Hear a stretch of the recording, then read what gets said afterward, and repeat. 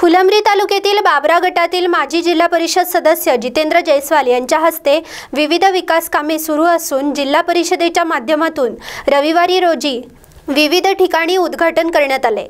यात निधोना येथील जिल्हा परिषद शाळेत तीन लक्ष रुपये पेवर क्लॉक बसवणे बाबरा येथील प्राथमिक शाळेत तीन लक्ष रुपये तसेच बोदेगाव खुर्द येथील शाळेला तीन लक्ष रुपये किमतीचे संरक्षण भिंत असे एकूण नऊ लक्ष रुपये किमतीच्या जिल्हा परिषदेअंतर्गत कामाचे उद्घाटन करण्यात आले. यावेळी बाबरा गावच्या सरपंच वाल्हाबाई पवार उपसरपंच रामकृष्ण मैद माजी सभापती कचरू महिंद यांच्यासह बाबरा व निधोना येथील नागरिकांची मोठ्या संख्येने उपस्थिती होती. राधेश्याम हिवाळे झुमो न्यूज फुलंब्री.